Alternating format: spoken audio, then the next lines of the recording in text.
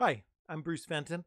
This report will discuss where we are, how we got here, the magnitude of change, and what our world may look like as the future unfolds. We are at the end of an epoch.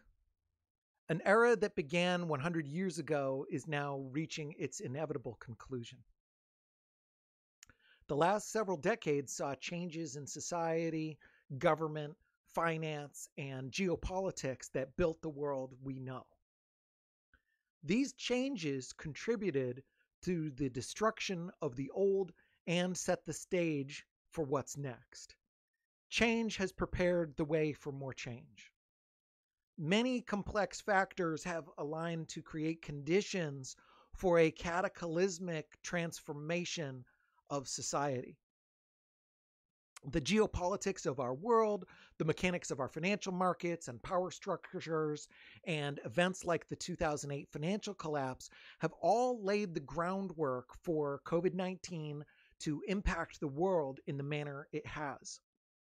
This has ignited a spark with secondary and nth order effects we are just beginning to see unfold. The actions of the last eight weeks have set into motion an unstoppable chain of events. This will forever transform our lives, our markets, and our world. It's time for new ways of thinking and new ways of solving problems. We must be cautious of the illusion of normalcy. As many of us sit at home relatively comfortably, this seems like a sort of temporary home vacation for some. Something which will end in weeks and be followed by a return to normal. Some investors and economists speculate we may see a recession, while others say we may recover in a year or two. Some people assume they will return to their jobs and the revenue will return quickly. I believe that they are simply grasping for an understanding of events which no one alive has a frame of reference for. The measures of where we are today will not be marked as the beginning of a recession or even a depression, but as the end of an era.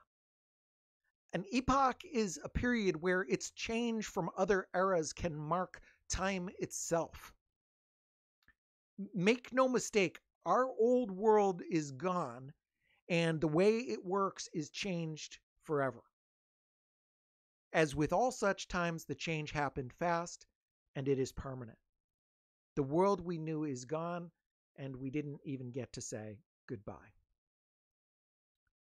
To understand the magnitude of this change and what is ahead, we must understand where we are now, what brought us here, what is happening, and how history has unfolded in times like this.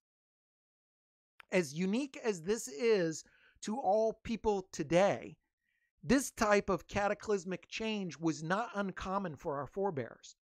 It is inevitable.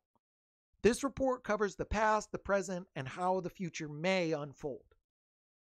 The main purpose is to try to help us understand where we are, how big this shift might be, and how we can build a better world moving forward. The Cambridge Dictionary defines frame of reference as a noun, a set of ideas or facts that a person accepts and that influences the person's behavior, opinions, or decisions. Ideas and facts have changed. The world is operating in a new way so we have no frame of reference for what we are seeing and little ability to predict what is next. Everything will be rewritten. Perspective. History doesn't repeat itself, but often rhymes. This is attributed to Mark Twain, but as with much in our world, we don't know if the attribution is true. History does indeed follow predictable patterns. Likewise, Humans follow predictable paths from birth to old age. We know accurately when most people will learn to walk, get married, peak in their careers, and when they will become grandparents. Demographics are predictable. So are people. So are nations. The world is predictable, but the predictions are only as accurate as a rhyme. Generational change and demographics. Every decade sees change. The 1950s are notably different from the 1960s, and the 70s are very different from the 1990s. A generation is a period of about 30 years, the time it takes for children to be born, grow up, and have children of their own. People collectively born around the same time are members of the same generation. As with decades, generations are distinct and marked by their own characteristics. The greatest generation fought in World War II. The silent generation rebuilt. The baby boomers brought us the world we see today. And Generation X, Millennials, and Gen Z all have their own traits and impact. Large generations, such as the baby boomers, tend to transform society. Shopping preferences, housing, political choices, and family and lifestyle preferences of the boomers affected everything from how schools were built to urban development to the internet and the invention of superstores. In the book The Fourth Turning, Strauss and Howe discuss how generations change and rebel against the previous, each having different attitudes, values, and priorities. These differences shape eras with notable changes in commerce, life, and institutions. About every four generations, every hundred years or so, we tend to see a much more dramatic change, a fourth turning. These times of change are often violent in a literal sense, but they are always violent in impact. These are times when we see massive shifts in how our world works. A fourth turning will see global changes in money, maps, borders, how people think and behave, and what industries and trends are important. Epoch change. Every few hundred years or so, we have a global transformation that is even more cataclysmic. The birth of Christianity, the birth of Islam, the rise of the Roman Empire, its fall and the Dark Ages, the beginning of the Renaissance, the French and American revolutions, and the Industrial Revolution. These were all events of such magnitude that the New World was unrecognizable from what had existed just years before. It is these times where the change itself marks time. This is the epoch shift we are in now.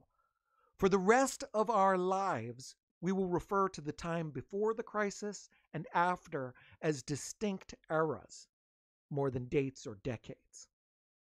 What brought us here? 1918 the current situation is not just a COVID 19 crisis, this is a global crisis and the end of an era. COVID 19 was just the event that commenced the inevitable. The origins of this start with the beginning of this, this fourth turning 100 years ago and the 20th century. The Spanish flu of 1918 marked the end of eras which had seen the birth of the United States 142 years earlier through the Industrial Revolution and the Civil War. The Spanish flu was immediately followed by World War I and a world that would never be the same. People born in the early 1900s saw staggering change. A man born in 1900 grew up with no telephone. He probably never saw a car until adulthood. He had a 70% chance of living on a farm and likely never traveled more than 100 miles from his home.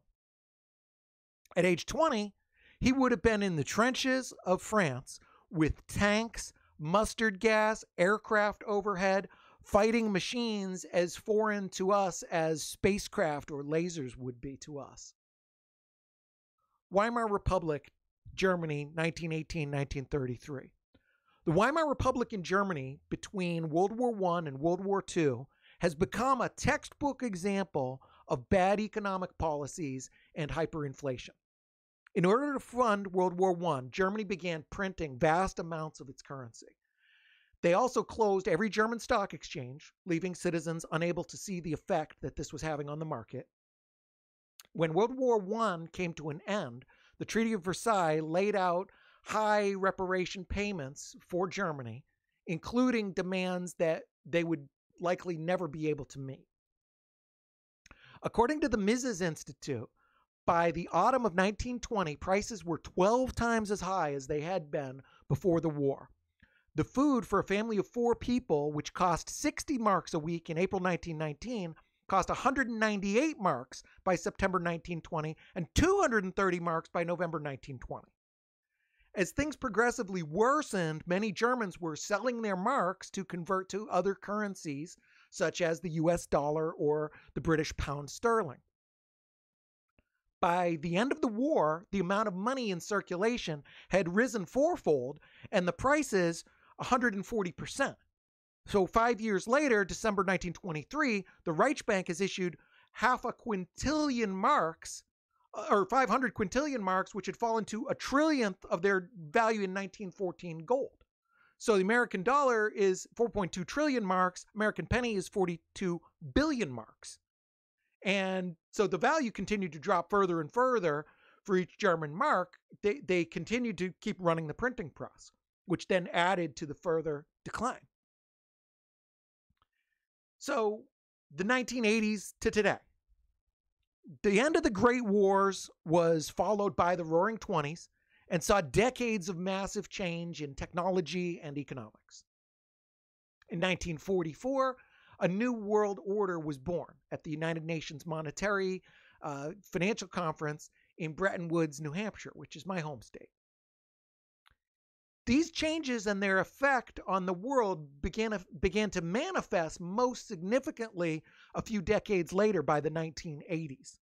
The 1980s saw new uses of debt, a continued drift from sound money, the end of the USSR, and the acceleration of globalization. The baby boomers began to reach productive career years and shape the world from their own leadership roles in the 80s. The decade also formed the building blocks for the 90s tech revolution, the rise of China, and the internet. This paved the way, in turn, for further credit expansion, even more globalization, and more interconnectedness. By the 2010s, humanity had unprecedented interconnectedness choice, selection, ability to travel, customization, on demand pricing, delivery opportunities, and nearly unlimited credit.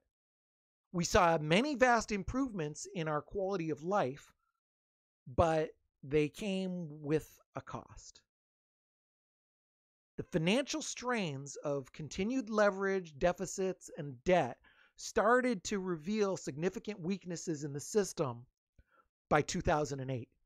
In the 2008 financial crisis, a cycle of bad loans on overvalued homes with unqualified homebuyers created a hole of debt that led to the insolvency of many major banks. Instead of allowing the banks to fail, the United States government initiated the largest bailout in history at the time, roughly $700 billion. These interventions kicked the can down the road and did not fundamentally strengthen the business model of the failed banks. Within a couple of years, the debt was again at untenable levels.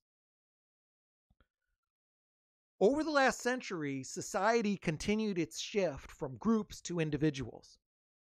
The Paleolithic humans of 2.5 million years ago to 10,000 BC were organized around family units and clans. From 10,000 BC to as recently as the 1800s, tribes, clans, and groups still dominated our social structures, and they still do in some cultures today. So, for more than 99% of our history, humans have functioned and operated in groups more so than now. With technology, improvements in standards of living, medicine, and food, people of the 20th century had the ability to survive more independently of a clan or group than they ever could before. Community help gave way to self help. Self sufficiency was traded for efficiency.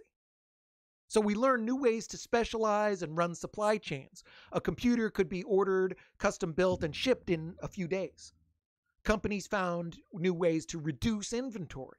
Owning all parts of a supply chain became considered quaint. We became efficient and were able to do things that were previously impossible.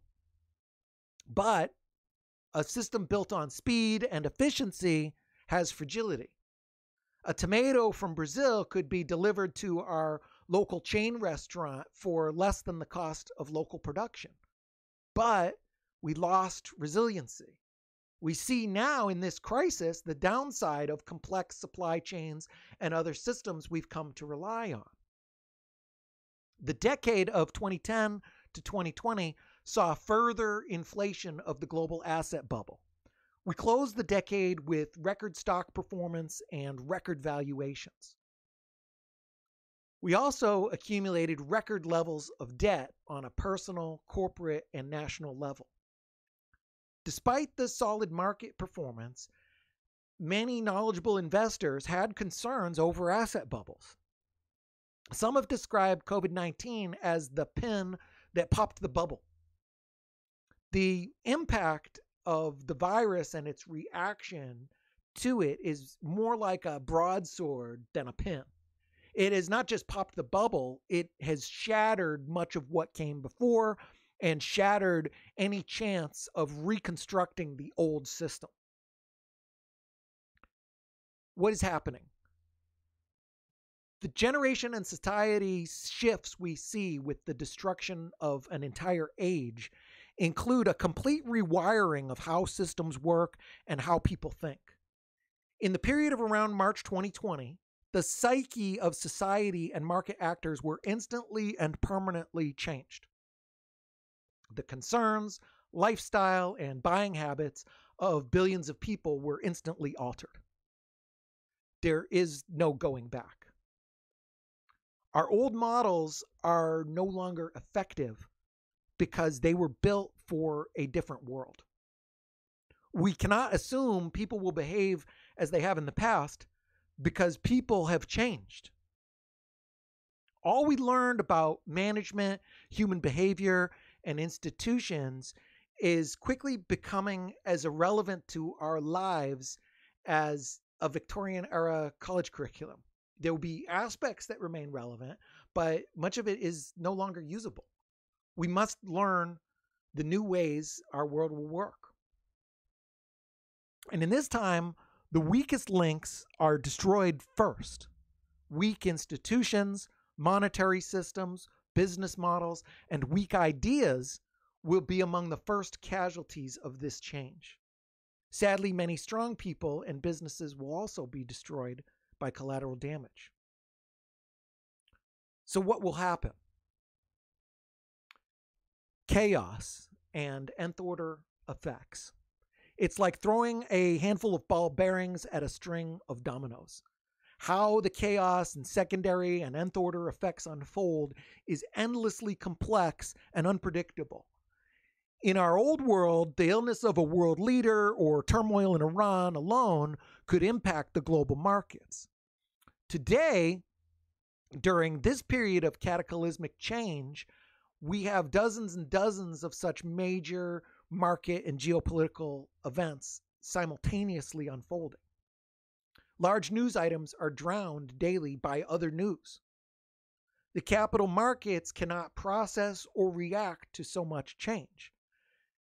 The individual market participants and decision makers, money managers, traders, CEOs, are also dealing with their own business and personal disruptions. Even without distraction, no analyst or CEO or trader or computer can process the variables and predict what happens next. The potential outcomes are now as difficult to predict as the pattern on a tie dye t shirt as the dye is poured over it. You might guess the general color or look, but you can't possibly know how it will unfold. There's just too many variables and too many possibilities. So, what may happen? There's areas of concern. Geopolitical conflict is one. Above all else, we must watch out for geopolitical risks. To be prepared for an emergency, you always need to plan for a worst case scenario. War and conflict between nations could make the crisis we are in now seem insignificant.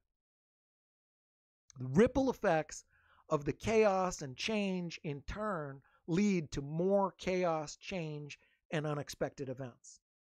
The crisis is still in its early stages, and the dust has not begun to settle. When the world has more clarity and impact is clearer, we will be at a heightened chance of global conflict. Now will be a time when power players and the evil will try to move forward, a time when authoritarians will try to seize power, and a time when tyrants will try to exercise their will. Politicians will also have to face an increased chance of civil unrest, record unemployment, and deal with frustration by citizens. Chaos begets chaos. Times of crisis are usually not isolated. Turmoil creates new systemic risks. The virus crisis has popped the financial bubble, creating an economic crisis. The reactions by governments have created further crisis. So we now see not only a health crisis of the virus, as well as massive nth order effects on private health, insurance care, and other medical issues, we also see a global supply chain crisis, a jobs crisis, a debt crisis, a looming food crisis, a human rights crisis, a restaurant, hotel, and hospitality crisis, an airline crisis, and a residential and commercial real estate crisis. We could see regional conflicts on the scale of Iraq or Afghanistan wars as various nations vie for power and resources. Unfortunately, we face the possibility of a massive global war as well. Tensions between some nations and China are also likely to increase for a variety of reasons, including nationalism, economics, trade wars, and blame for the virus. Authoritarianism. Global governments have a history of expanding power and authoritarianism in times of crisis. This increases the tax burden on citizens while decreasing the ability of enterprises to operate effectively. The economic impact of the reaction to 9 11, for example, was far greater than the impact of the event itself. We can expect a combination of global restrictions on travel, changes in economic policy, and limitations on trade and movement. The US and other countries could have virus driven Patriot Act style legislation and executive orders. We should be cautious of biosurveillance, the delegation of legal due process to medical authorities, and restrictions on free speech. Ideas that may sound good in times of crisis can be difficult to unwind if they give vast new powers to the state. The idea of restricting movement based on a COVID 19 antibody testing, for example, may have some merits from a medical and containment standpoint, but in practical application could have massive downside from a human rights standpoint. Whoever controls the database with the health tracking records controls the people. So, a project run by well meaning doctors today could be co opted by politicians tomorrow and used as a political tool. If abused, people who are in the wrong political party or say the wrong things might be declared to be in violation of the rules or may have difficulty getting tests or clearances. We can never allow anyone the ability to restrict or lock up others outside of our legal system with due process and constitutional limits on state power. Any power that citizens give up now has a high chance of being abused at some point in the future. Supply chains.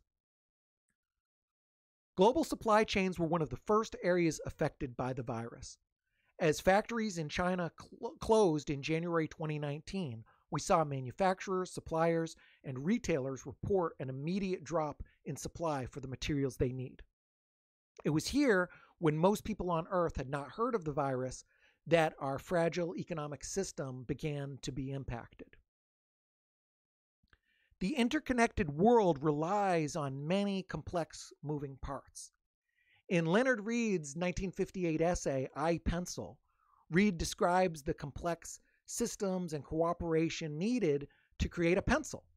Read chose the simple pencil to illustrate that even simple items require vast cooperation of supplies, manufacturers, and distributors. Today, we have many more complex products and a supply chain that is orders of magnitude above that of 1958. Yet the recent disruptions place severe limitations on our ability to produce, create, and trade, even by 1958 standards. The ripple effects of the supply chain have already wiped out some companies and will continue to be felt for years, with many changes being permanent. The supply chain has many additional effects. Container ships in California are now stacking up with a lack of demand for certain products. Materials used for medicines are in short supply. Radically changed consumer demands are altering the landscape even further. Bad economics. It's never a good time for nonsensical economics. The COVID 19 corporate bonus bailout package was more than $6 trillion by April 1st, 2020. The costs in both taxes and devaluation of money are real and borne by the citizens. This equates to an average of about $18,000 per citizen. So, Congress and the Federal Reserve are essentially taking $18,000 from each citizen's wealth, giving $16,800 of it back to corporations, and then returning $1,200 to each citizen in the form of a check, or some citizens anyway. This is a bad deal. How much is 6 trillion? So if Christopher Columbus came to America in 1492 and burned up a pile of cash worth $1,200, then burned another four seconds later, and another, and another, and another 960 piles of cash an hour, every hour, every day, 24 7, century after century, it still wouldn't amount to 6 trillion. I could go on with silly but also true examples like this, but the main point is that these numbers don't make any sense to any rational person. They are bad economics. Either the principles of economics are sound or they are not. A crisis is no excuse to abandon reason and logic. Due to the nature of this shift and its magnitude, we cannot depend on things working as they have before especially bad ideas. The dollar is still the leading global currency and, as such, has unique advantages. Other fiat is, for the most part, in bad shape. Even the US dollar is only the reserve currency until it isn't. This crisis may not be the end of the dollar. In fact, the dollar may do well in the near term, although the primary reason is that there is so little else that makes sense bonds and other fiat offer an inferior risk and return relative to the dollar. Change. Further market drops. Stocks are about at 2017 levels, and the CAPE ratio, cyclically adjusted price to earnings, are at their 35 year averages. So, in other words, even despite the massive market drops for this year, stocks are still relatively high price based on their historic averages. So, worse yet, these price to earnings ratios are based on trailing earnings, not forecasted earnings. So, clearly, the earnings of Q2 to Q4 2020 are going to be some of the most dismal in history. Capital creation and destruction. One of the most beautiful things about economics, and something socialists will never understand, is that both capital and value can be created from nothing. So ingredients worth $5 combined with labor can be used to make a cake worth $15. The extra $10 in increased value isn't stolen from someone. Increased value is produced because the value has been created from thin air, raw materials, risk, and labor. So same with a plot of land worth 100,000 combined with building supplies and labor worth another 100,000 can create real estate worth 300,000 a business with r&d or a film company that spends 100 million can create something from thin air worth a billion dollars. The flip side of this is that value and capital can be destroyed as well. So when a business fails, the enterprise value is essentially zero less whatever raw supplies are left. So a restaurant worth a million dollars in January that is out of business today is gone from the balance sheet of Earth. There is less value, and we are all poorer as a world. The job market. We are likely to reach unemployment levels not seen since the Great Depression. Perhaps worse. The effects of this are almost inconceivable. We face a world where far fewer people are producing and spending, which makes it much more difficult for the capital that has been destroyed to be recreated. What jobs we do see will be radically different. I started my career, for example, in the 1990s as a stockbroker and investment advisor. In the early 90s, commission only compensation models were common for financial services, healthcare, others. And this, the models from the 70s and 80s were disappearing in a favor of more of a draw versus commission. So by the 2000s, the, the model was a base plus commission. By 2010, it was a salary with a possible bonus. And by 2019, you know, even the bonuses were there. You almost never saw a commission based job. And all of this occurred just in the typical shifts of time for a normal 20 year career, not a fourth turning and not an epoch shift. So we can expect the compensation structures and structures of all jobs to follow a much more dramatic path than the financial services over the last 30 years example. It'll be more like the historic shift from farms to factories or factory uh, jobs to office jobs. It will be a massive change, we will see. Power structures and institutions. The power structures built up through the 20th century will die or change. Entities built during the last century, such as post Bretton Woods banking and fractional reserve, the European Union, and institutions like the UN, World Economic Forum, and World Health Organization will either change radically to adapt to the new world or more likely will cease to exist as we know them. Many institutions have brought little added value during this crisis, and some, like the WHO, have been outright harmful. So, people faced with hardship are less likely to trust institutions and they will look for proven solutions instead. New organizations will fill the void as will individuals and especially decentralized interest groups. Longtime establishment groups like the World Economic Forum will be less relevant as global power structures shift and change. Opportunities. Destruction means that something cannot be repaired, but it can be rebuilt. In times of turmoil and war and change, there are opportunities. Along with ruin, this new age will see fortunes built and the next generation of great companies rise from the ashes. The Great Depression saw many new business models, like the creation of the model modern supermarket by Michael Cullen. It saw many small and mid-sized enterprises adapt, lead, and build fortunes it will be key for uh, entrepreneurs to watch for what works and be ready to spot and adapt and change to emerging trends because the change will come very, very fast. Entertainment. The Great Depression accelerated technology of the entertainment and movie industry, which had only recently had the first talkies. And the industry was hit by the economic downturn like anyone else, but it quickly changed and adapted by lowering ticket prices and producing cheaper B movies. This ushered in a golden age for cinema that lasted until the 1960s.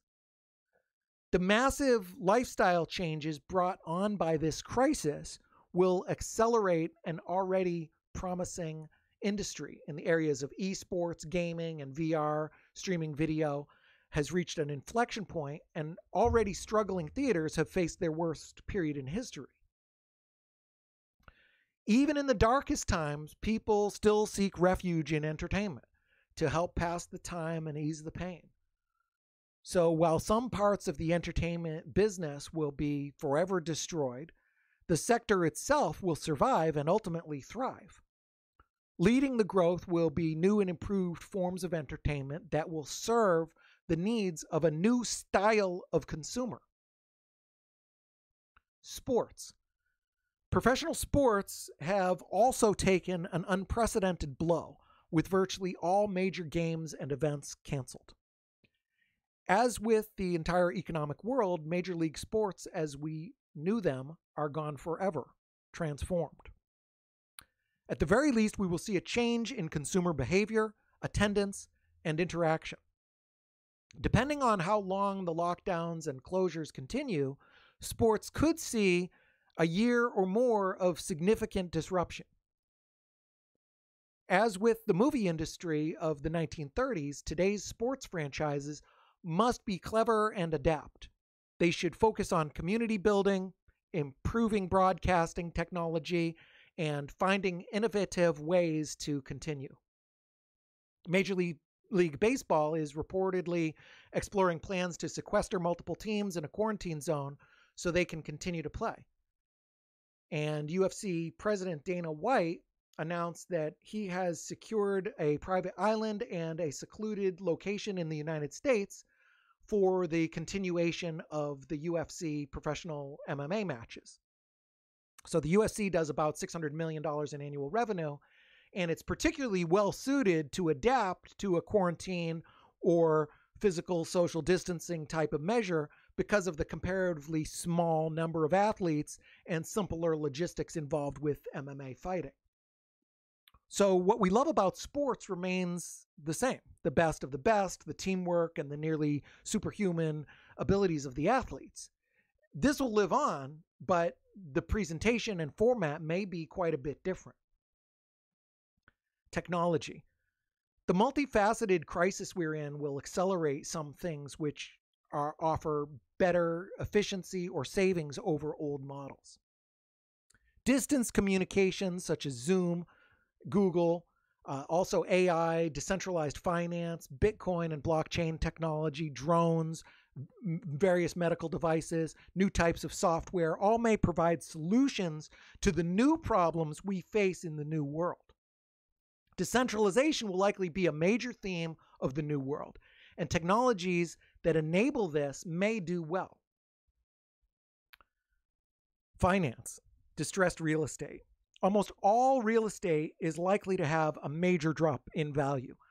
Residential real estate will be harmed by less appetite for purchases, as well as missed and falling rents. Commercial real estate is especially vulnerable due to the trifecta of out of business tenants, such as hospitality, economically harmed commercial tenants, less demand, and a general move toward work from home.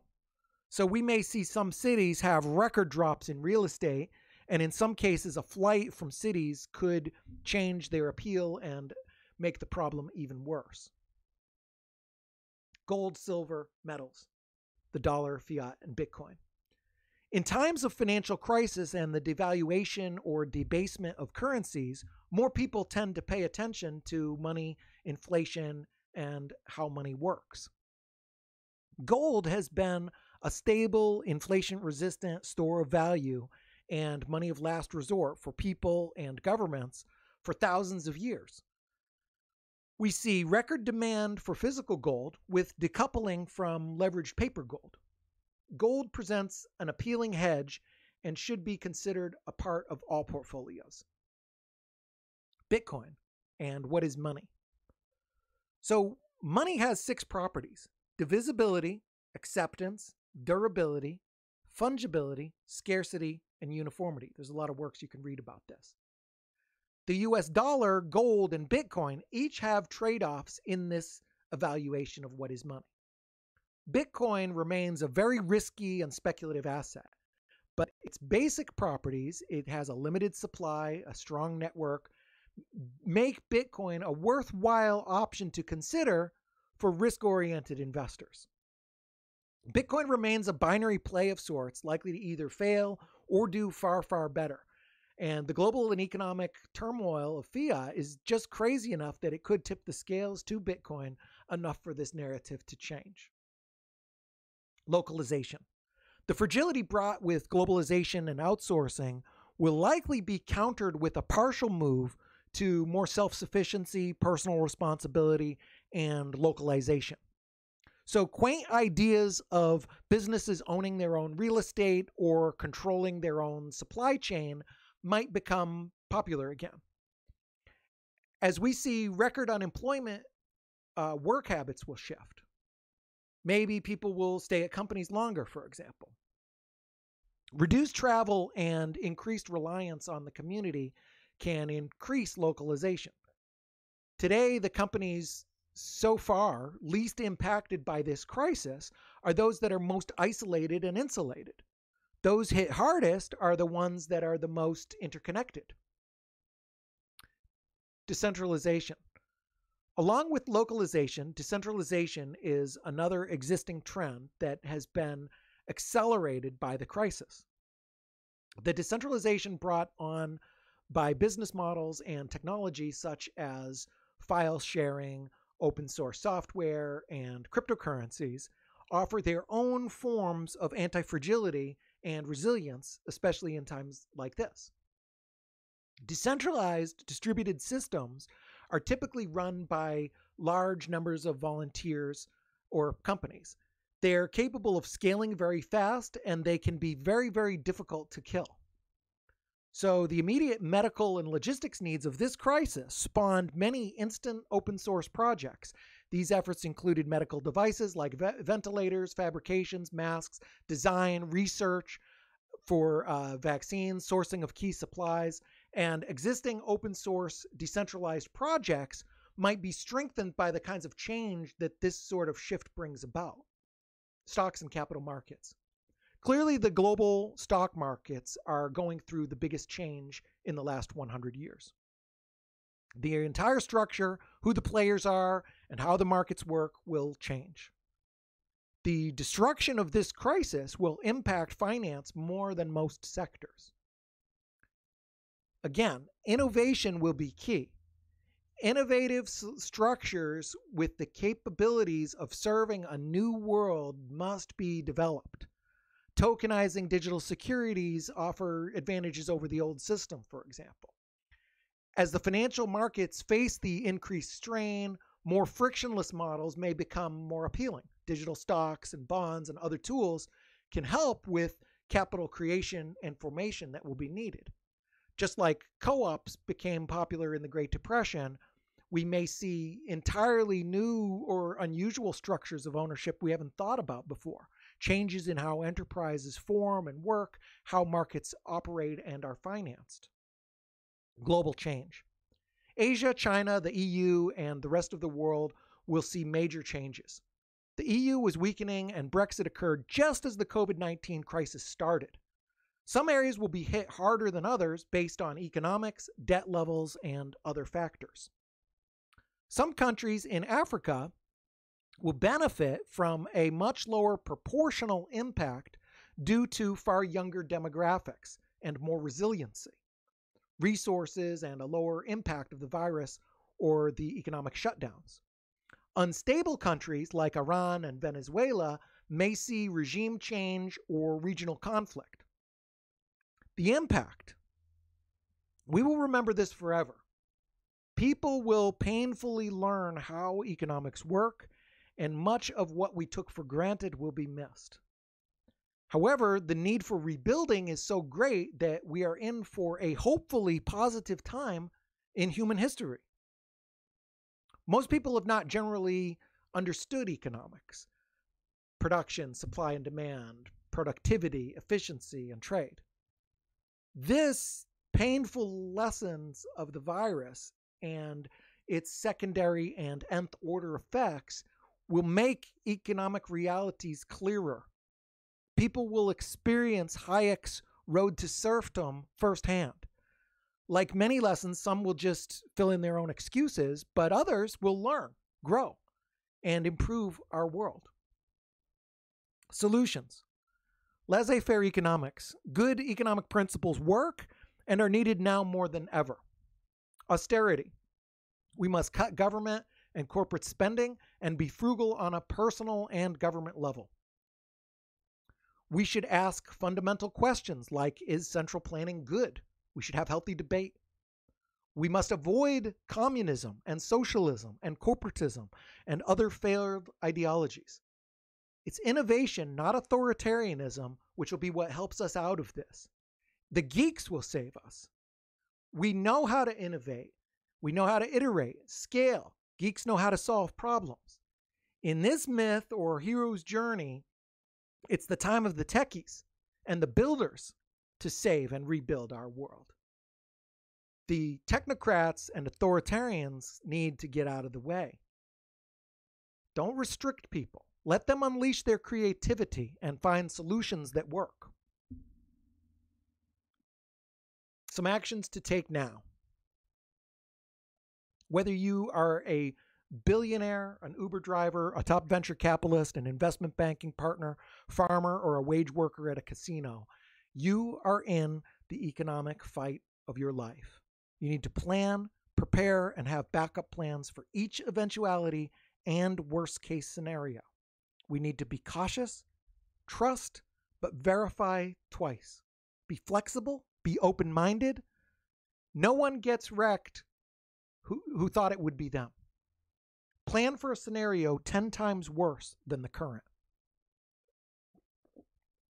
Look for constants, principles, and values that are relevant in any situation math, science, logic, and other pursuits are independent of global events.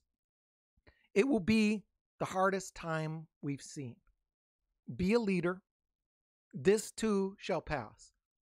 As Winston Churchill said, when you're going through hell, keep going. At least it's attributed to him.